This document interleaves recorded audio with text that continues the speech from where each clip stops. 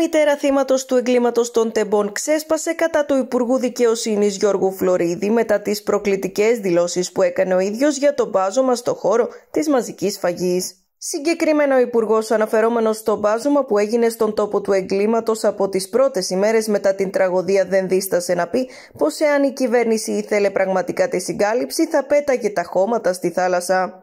Όπως τόνισε χαρακτηριστικά, όλα τα υλικά που βρέθηκαν στο χώρο του δυστυχήματος ήταν και παραμένουν στη διάθεση των πραγματογνωμόνων. Αν κάποιος ήθελε να τα εξαφανίσει, θα πήγαινε τα χώματα στη θάλασσα, όχι δίπλα σε ιδιωτικό χώρο φυλασσόμενο.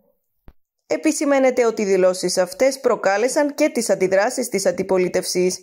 Σε αναρτησή της μητέρα ενός θύματος των τεμπών δήλωσε «Είμαι μάνα που ο γιος μου δολοφονήθηκε στα τέμπη. Απαιτώ να έχω και τον ηχάκι του παιδιού μου και όχι να είμαι ευχαριστημένη που δεν πετάξατε τα χώματα στη θάλασσα για να μην βρεθούν ποτέ και εκεί θα τα έβρισκα, αλλά τα πετάξατε σε χωράφι διότι «Ξέρεις κύριε Φλωρίδη τι θα πεις σεβασμός νεκρού» Ξέρεις τι θα πει σεβασμός στη μάνα του νεκρού παιδιού; Σεβασμός άθλιε, σεβασμός.